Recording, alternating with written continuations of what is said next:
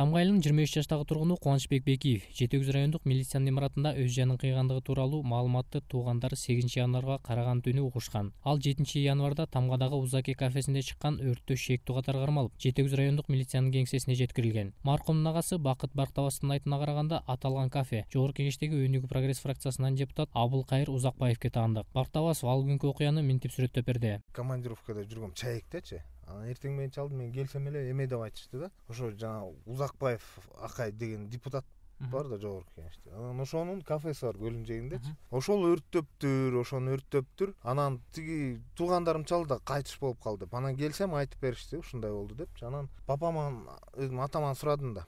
Эмне болду десем ушундай түнкү саат он экиде келиптир тиги акай кафенин ээсичи анан келип туруп эме дептир жүрү бас балаңды тиякта жатат деп барса уже барса өлтүрүп коюшуптур уже сабапчы ровддан кубанычбекти өрткө шектүү деп төрт беш бала кармап кафеге алып келип ары бери бастырып видеокамерага тартышкан андан кийин милициянын ыкчам тобун чакыртып салып беришкен деп ишендирди агасы нурбек бактабасов келип эле куба качты дейт төрт бала келгенде качканда бирөө чуркап барып чалганда оңкосунан бети менен жыгылды бети менен жыгылганда эки бала келип туруп тепкилеп тарс тарс тарс тепкилеп анан ар жакта машина бар экен арты менен келип кубаны сүйрөп салып анан алып кетишиптир анан кафеден анан кайра ошол жактан кандай кылдың эле?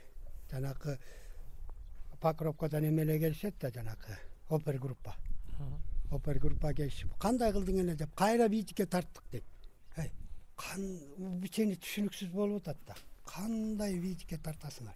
Бул мурун видикте бар беле и бар болчу болсо ошол эле жетет да. Анан бул биз деген кайра ошо кандай кылдың эле деп тарттык элек дейт жөндөн эки эме болуп атпайбы бакыт бактабасов иниси өз жанын кыйганына ишенген жери жок жип байлап кой болсун байлап коюп анан мындай муун өлгөн киши эми башкача болот да мындай көгөрүп аябай эметет андай таптаза да мындай бети ак мойнунда эми бир капталында жипти мындай ошо боону ботинкенин боосун аябай сүргүлөп монтип карартып бул баягы өтүк май эметип атып карарып калган ошентип карартып коюптур да. Муунган киши баары эле айтып атат эми биякта деле туугандар бар да ошолор баягы мурда көргөн муунган кишилерди ошолор айтып атат бул муунган эмес деп эле кафенин ээси деген депутаттын өзү менен дароо байланышуу мүмкүн болгон жок. Өрт боюнча жабырлануучу катары милицияга кайрылган тараптан майрамбек осмонбеков өзүн депутаттын агасынын баласымын деп тааныштырды. Ал милиция алып кеткенге чейин сабап болгон эмес күнөөнү өз мойнуна алган деп ишендирди. Эч ким сабап эле аны мен алып келгем негизичи мен кармап келгем да. Каяктан кармап келдиңиз эле? Эмеден санаториядан. Санатория чалсам деген санаториядан дегенден эле алып келгем аны эчтеке эметпей эле. Өзү деле эчтеке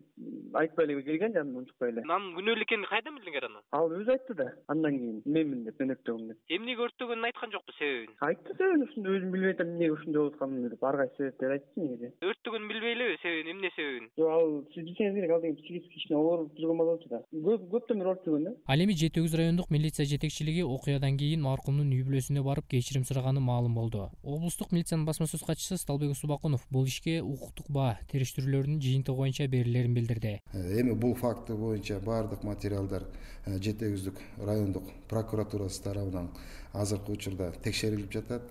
Анан ошол текшерүүнүн негизинде өздөрүнүн юридикалык баасын берет. Каза болгон кубанычбек бекиев быйыл жыйырма үч жашка толмок. Үй бүлөдө беш бир туугандын кенжеси эле. Жана үй бүлөгү тилек болчу. Асийим адамбеков азаттык ысык көл облусу.